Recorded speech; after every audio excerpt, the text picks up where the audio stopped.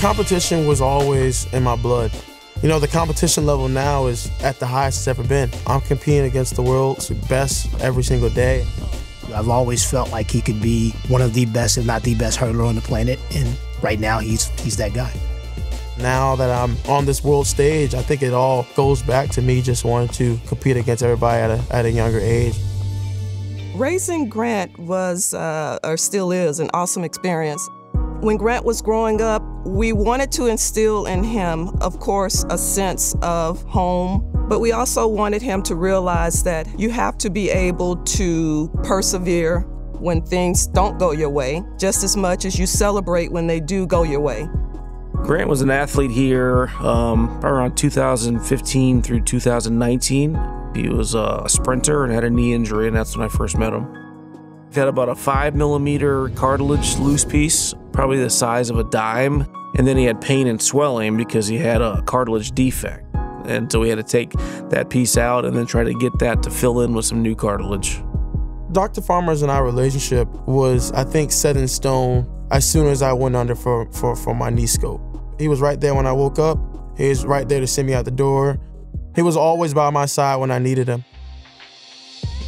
It was the first time I was off my feet, kind of like learning how to walk again which was tough, but you know, I took it with a with a grain of salt and I took it as a challenge just to continue just to, you know, work at it, get better at it.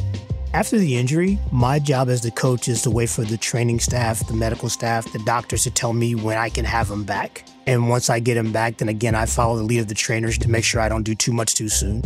I was just looking forward just to getting back on the track and really just get the juices flowing and move. But that second track meet, man, I was able to break the collegiate record at the time it was it was remarkable. It was heartwarming to see him grow up, and it was kind of like a setback, but he was able to accomplish greater things once he did come back. Dr. Farmer did an amazing job. He was with me the whole way. Even between track meets, he was always checking in, coming to the track, making sure everything was smooth. I think that goes to show you that between University of Florida Track and Field and UF Health, everybody is doing their part to be a part of that Gator community.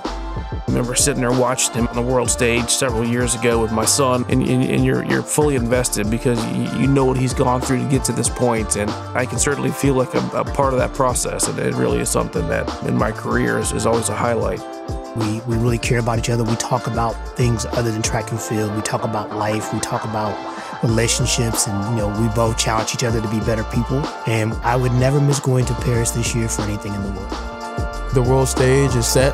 I'm looking forward to it. Obviously, gold is at the top of my list, but for the big stage, you gotta have a big moment. And I think I'm ready for that big moment.